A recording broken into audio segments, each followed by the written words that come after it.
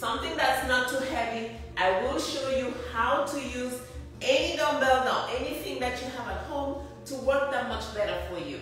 This workout is called isometric and dynamic.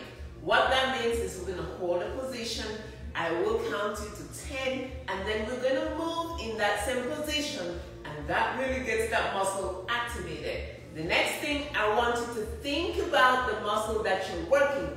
Mind muscle connection is real. So if I'm working my biceps, I stay here.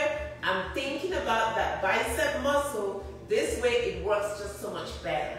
Last thing, your position is more important than the number of reps that you do. So you want to maintain correct position.